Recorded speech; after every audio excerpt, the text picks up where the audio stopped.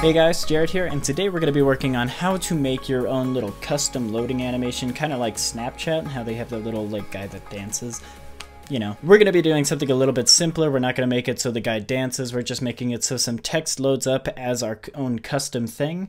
And then we're also going to be colorizing that in view as well. But if you want to add your own animation, just look into how to animate images, and then you can apply this to your project.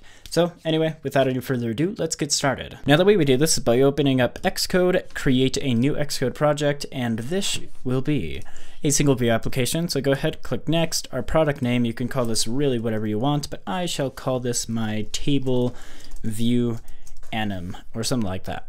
Language, Swift, devices, universal. Go ahead, click next, create, and we are good to go. Now the way we do this is by going over here to our main.storyboard and what we're going to do is just go ahead delete that view controller and I'm just going to add in a table view controller. As for demonstration purposes this is this just makes things a lot easier. So now let's go ahead and click on this table view controller right now.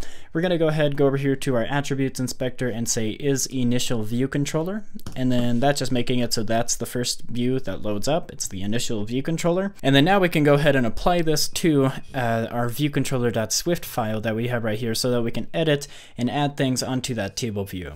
So we just need to go over here to our viewcontroller.swift and I'm just going to go ahead change the class name of this to my table view controller with the superclass of a UI table view uh, controller like so. And now that we have that set up, let's go back over here to our main.storyboard, click on this table view that you just created, and head over here to your identity inspector. Now with this, we have the class. So this class, we're just going to apply that to our table view controller, or the name that you put right here inside of here. So now we can add some elements onto this table view controller, including our refresh control, as well as some things that go inside of each of the cells. But first off, let's go ahead and populate these cells though that we can actually play around with this refresh control. And again, we have that superclass of the UI table view controller. And what this contains is actually a lot of elements and functions that you need to add and do some things to your table view. So let's go ahead and populate our table view by saying table view this will be our number of rows in section, like so. And just go ahead and delete any excessive text if any pops up for you. It did for me. But either way, we have this function right here. How many rows in this section do we want? I'm just going to make this really quick and simple. We're not loading images in there or anything. We're just making it so it loads some text. So I'm just going to go ahead and say var my text array will be equal to, and I'm just going to go ahead and say open bracket, close bracket, and this will be a string value and then just open close parentheses like so. And now we want to add some elements into this text array. So we can go ahead and say my text array will be equal to open bracket, close bracket, and you can just go ahead and put in any text you want. I'm just going to go ahead and put that in there. It really doesn't matter what's inside of this text array. It just, it's going to be your own table view. So whatever you're building your own table view with, this is what you're going to be using. So now we can go ahead and say table view number of rows in section, and we're going to return the value of my text array dot count like so. And then now down here, we want to add these uh, text onto the each of the cells. So we want to go ahead, type in table view, and you want this one that says table view cell for row index path. So just go ahead, plug that in there, and let's go ahead and create a cell. So I'm going to say let my cell, and I'm just going to set this equal to my table view dot dequeue reusable cell with identifier there. And with this identifier, this is referencing a prototype cell inside of your main.storyboard. So if you go in here into your main.storyboard, click on the first cell that you have right up here, head over to your attributes inspector, go over here to your identifier, and this is what it's referencing. So as long as you have, so it's grabbing this uh, cell right here, and it's adding that element onto that cell. So I'm just putting the identifier of lowercase cell. And that is how I'm going to have it over here in my table view dequeue reusable cell with identifier. So again, this is my lowercase cell. And then let's just hop down here and I'm just gonna go ahead and say return my cell, like so. And then now let's go ahead and say my cell.text label.text will be equal to, and this will be equal to my text array open bracket, close bracket, and we're just going to put this in here as my index path dot row. So essentially what this is doing right here is for each of these cells that's being created, we have an index path according to that cell. So this index path.row is which row are you building that for? So we have this cell.textlabel.text. Text label is something that's automatically built into each of the cells. So once you actually call text label, it's going to add that right in there. So we can go ahead and say cell.textlabel.text will be equal to and then this will be text array, and then this is for the index path.row. So if it, the row is zero, meaning the first row, that is going to be you, then that, and then that. And there you go. And then lastly, it just wants this exclamation point to be added there. And if we were to build and run this right now, we have it so the table view is being populated with the text that I added in there. Now, of course, the next step in this is let's add some refresh control. That's what you guys came to see. So let's go ahead and let's add some refresh control. So first off, let's go ahead and add a refresh control onto this table view that we just created, and it's dead simple. So the way we do this is by going over here, and we're just gonna go ahead and say self.tableview.add subview, and we are going to add the subview of our refresh control. This is actually something that's automatically built in there. All you need to do is add an exclamation point at the end of that refresh control. Now, if you wanna create your own refresh control, uh, you can actually edit this one that's automatically built in here by saying refresh control dot uh, like tint color or something like that, you can, let's go ahead and say refresh control dot tint color will be equal to a UI color dot green color. And that should make it so that refresh control is actually a green color. Now you can edit this thing to your heart's content. Now if you want to create your own refresh control, you can go ahead, go up here to your variables. You can say var my refresh will be equal to, and I'm just going to set this equal to a UI refresh control like so, and you would just add this refresh as your sub view down here. Now, like I said, there's an automatically built-in one, and there's this one that you can create. I think it's better to go the route of one that you actually create yourself. You might disagree with me. I don't really know which one's better. I don't think there's that much of a difference if you go either way, so just take my word with a grain of salt. You can do either way, I think. And now we have that, so I actually have this refresh control.tint color. I'm just going to go ahead and set that equal to my refresh.tint color now, because I'm going to be working with this variable that I created up here now. And now let's go ahead, build and run this, and let's check out what we have. So now if I were to take this and I scroll down, you can see that there is my loading animation, and it has the tint color of green. Now the way you dismiss this refresh control is very simple, but you have to keep in mind that when do you want this refresh to control to go away? Do you want this to happen when I click on a button? That's what we're going to be using in this sense, just because we want this to be quick and simple. But if you are loading data from the internet, then you want to have that go away upon completion of downloading all the resources from the internet. So just keep that in mind. Today we're just going to be working with when I click on one of these cells, it's going to go away. So I'm going to go ahead, go down here, create a new function, and this is my table view, did select row index path. And we could just go ahead and say my refresh dot end refreshing. It's very simple just to end it. So if we were to build and run this, uh, let's check out what we've done. And here you have it, so I'm going to refresh, and now when I click on one of these cells, it goes away like that. So again, this is up to you when you want that to end refreshing, but just keep that in mind, that's how you end the refreshing. So let's go ahead and add a custom refresh control. So the way you add your own refresh control is we need to go ahead, go up here to File, New, File, and we're going to add a view. So this is going to underneath the iOS user interface and view. So this is a .nib file, and this is what we're going to be using instead of just that normal refresh control that's automatically built in from Apple. So let's go ahead, click next, and let's just create this as my refresh view, like so. And now we can go ahead, create that, and this is my refresh view. Now the way I want this to be planned out is I want there to be just a label in there. Now keep this in mind. This is how I'm doing it just for the sake of tutorial reasons. But if you want there to be an image and you want that image to be animating as long as it's refreshing, you would add a UI image view in there. And then you'd be able to reference this later, and we'll do that in just a minute, but we're gonna be able to reference that later and animate it. But either way, let's go ahead and I'm gonna delete that image view. And again, for tutorial reasons, I'm just gonna put this as my label. So I'm gonna go ahead, add that label, center it onto my scene like so. I'm going to right click or control click and drag from this label over to my view.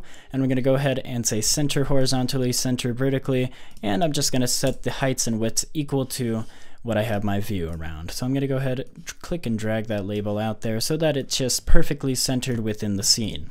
And then now also with this label, as you can see, uh, the label is over on here on the left. I don't want that, so I'm going to go ahead center the text over here in my attributes inspector. And as for the text that I want to be shown, I'm just going to go ahead and set that equal to refreshing like so. So now it's going to be refreshing. And you can also change the label text if you want. We're not working with super on the aesthetics part of this, just on the how this would be done. So we can go ahead and there we have it. So this is the view that I want to be loaded as my refresh view instead of that circle. So now let's go ahead, go over here to my view controller.swift, and we're going to go ahead and add that. So the way we do this is I'm going to go ahead create a new function and this will be my load refresh uh, control like so, open close parentheses, open curly bracket, close curly bracket, and inside of here, this is where I'm going to be loading my refresh control that I just created. So I'm going to go ahead and say let my refresh contents equal, and this will be my ns bundle dot main bundle dot load nib uh, named like so. And with this load nib named, of course, that's a fun thing to say. So with this load nib named, we're going to go ahead and set that equal to the name right here, which is my refresh view.nib. So it's going to be that name right there. So we go ahead, take that name, lowercase refresh, and then we're going to go ahead, capital V view. And then owner, we're going to set this equal to self, and options, we're setting this equal to nil. We don't want anything with the options or anything like that. And then now with these refresh contents that I'm doing, let's go ahead and let's grab the view out of that nib that I just grabbed. So, so I'm going to go ahead and say my var custom view will be equal to, and I'm going to set this equal to my refresh uh, contents, open bracket, close bracket, zero. And then this is going to be as a UI view. So essentially we're just grabbing the first view inside of my refresh view.nib. So if you have multiple views, don't do that. Just go ahead and put that one view in there, and that's what you're going to be using as your custom refresh.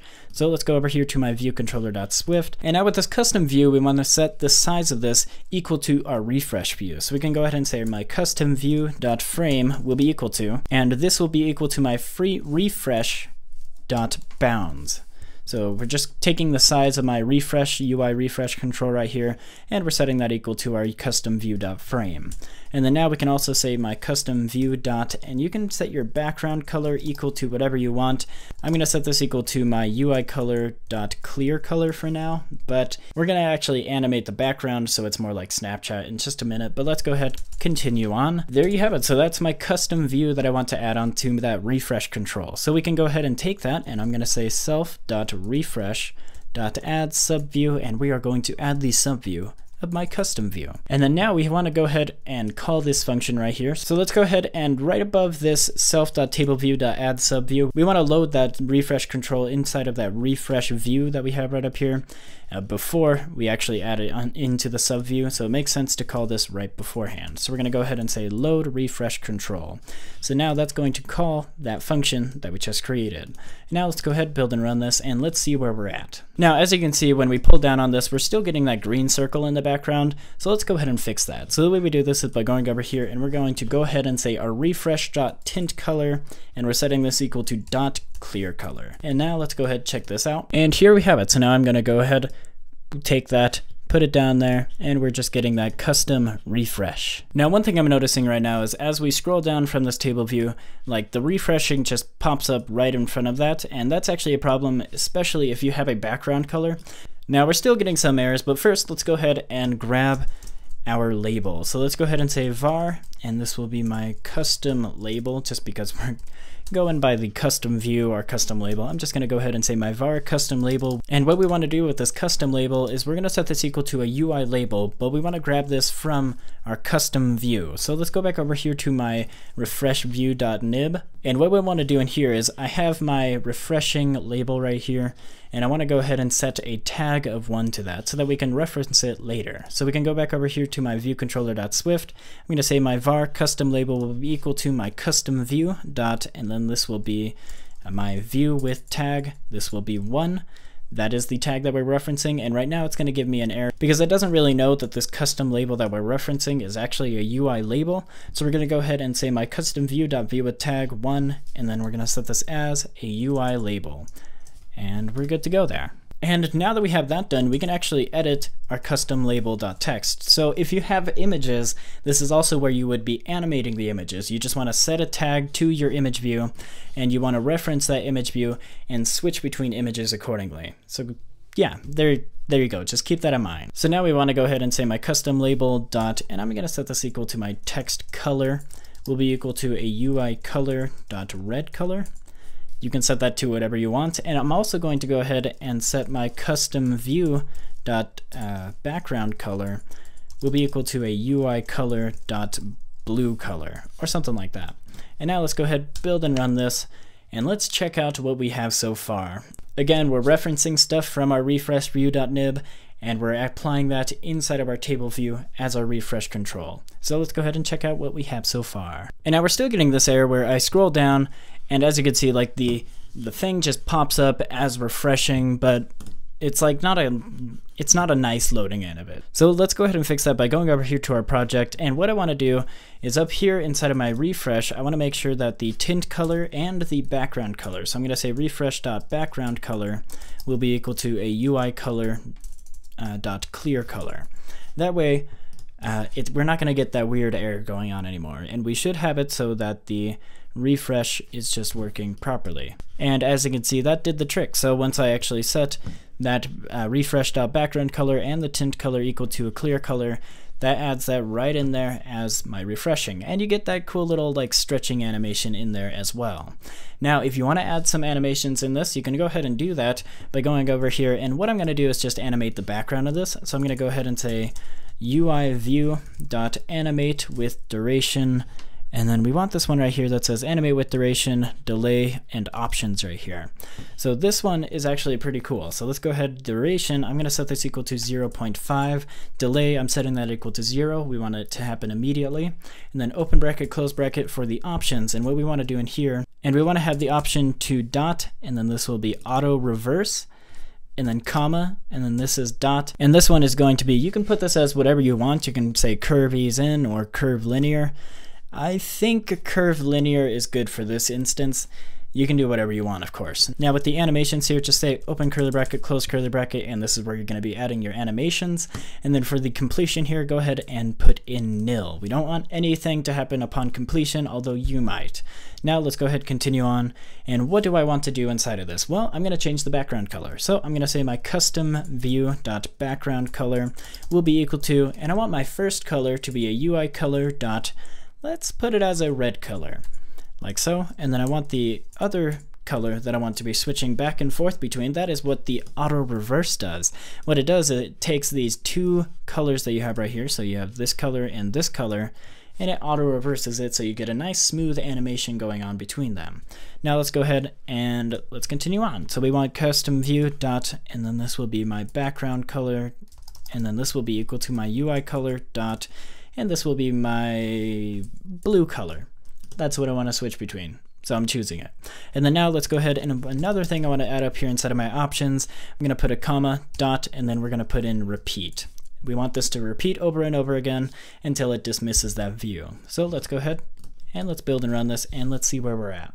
And there you have it. So now I'm going to go ahead, scroll down, and now you get that little trippy animation going on with refreshing in the middle. Now that refreshing is absolutely terrible having that as a red color. So I'm just going to change that real quick just for my sake. I'm going to set that equal to a white color. Now let's go ahead, build and run this. And there you have it. So now it's refreshing and you get those cool colors going in there. And there you have it. That's how you add your own custom loading animation for your inside of your table view with Swift and Xcode.